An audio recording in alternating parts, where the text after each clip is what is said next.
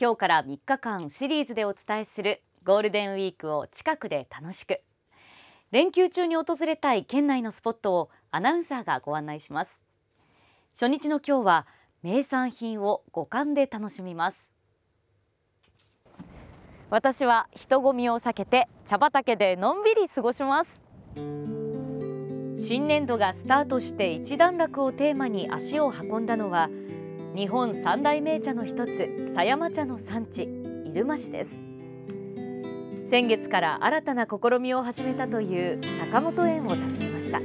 んにちは。あどうもいらっしゃいませ。案内してくれたのは入間市でお茶の製造販売問屋を手掛ける坂本園の坂本健介さんです。広い茶畑の中に現れたのはウッドデッキのテラス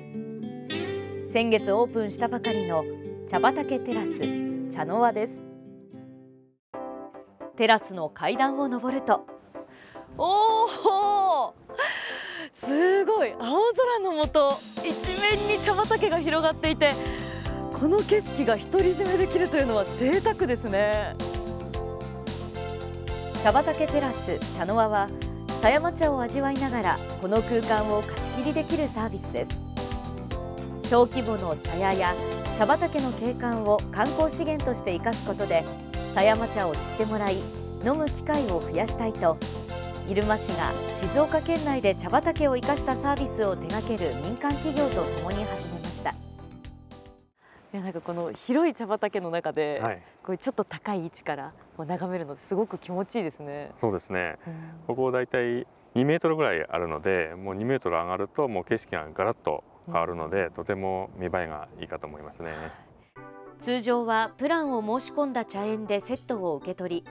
予約した人たちだけで現地に向かいます。基本セットの中には狭山茶の茶葉、茶器、お湯、そしてお茶菓子が入っていて煎茶やほうじ茶紅茶などさまざまな狭山茶を90分間味わえますお茶をいただくだけではなく自分で入れるのも楽しみの一つ。さらにうららかな春を茶畑で体感することができます。歌とねプランにはこちらのほうじ茶枕がついてきます。顔を近づけると香ばしいほうじ茶の香りがしますね。このお茶の香りに包まれながら茶畑のど真ん中でゴロンとお昼寝することができます。気持ちいい。心地よい日差しと風。そしてどこまでも広がる茶畑の景観を楽しみながら思わずうとうと。テラスは持ち込みも可能でランチや軽食をとる人も多いといいます。それぞれの五感で自由に狭山茶を楽しめます。今は市内3つの茶園が協力しそれぞれのプランを展開していて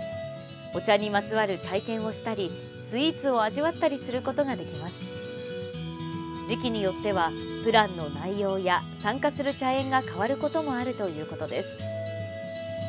坂本園でもお茶の収穫時期に合わせ期間限定で茶摘み体験をプランに入れる予定です。坂本さんは狭山茶を盛り上げる一人としてこの茶畑テラスが一つのきっかけになることを願っています。本当にとてもいい試みだと思いますね実際まあお茶に触れてなかった人が、まあ、こういうふうに体験して、まあ、景色を見てわあすごいと思ってでそのお茶も一緒に飲めるのでで改めてお茶の美味しさも発見していただけるということも結構いいかなと思いますね。茶の輪っていうことになってるので、まあ、ここからどんどんお茶の輪が広がっていくどんどんどんどんこうつないでつないで輪が広がっていければなというふうに思っていますね。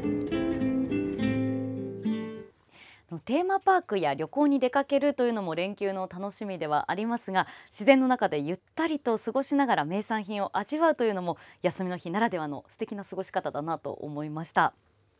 さてこの茶畑テラス茶の輪はプランによって時間帯などは異なりますがご覧の日程での予約が可能です。すでに埋まっているところもあります。新茶時期は限られていて今しかご覧いただけない美しい茶畑が広がっていますので検討されている方は早めの予約がおすすめです。予約や問い合わせはこちらの QR コードから公式の LINE でのみ受け付けています。ぜひ行ってみてください。